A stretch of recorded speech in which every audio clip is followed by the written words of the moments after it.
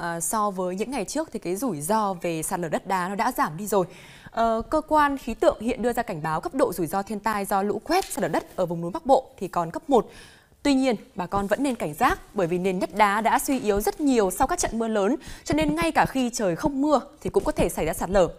Dự báo trong tối nay ạ thì có 10 tỉnh, đó là Lào Cai, Hà Giang, Sơn La, Yên Bái, Tuyên Quang, Bắc Cạn, Phú Thọ, Thái Nguyên, Hòa Bình và Bắc Giang xuất hiện các điểm nguy cơ xảy ra lũ quét, sạt lở đất cục bộ.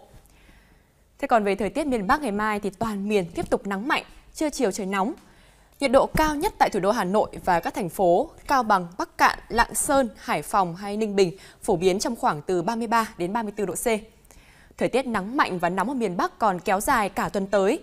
Như tại thủ đô Hà Nội, nhiệt độ ngày nào cũng cao ở mức là 34 độ C.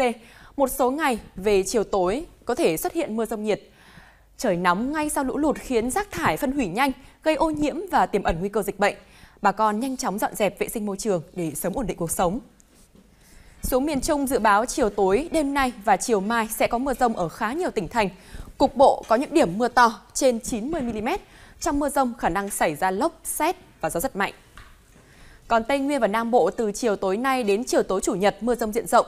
Lượng mưa phổ biến là từ 40 đến 80 mm và cục bộ có những nơi mưa có thể vượt 120 mm.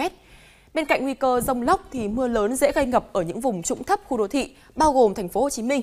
Thế còn các sườn đồi núi dốc, tuyến đường đèo của Tây Nguyên cần cảnh giác với khả năng xảy ra sạt lở đất.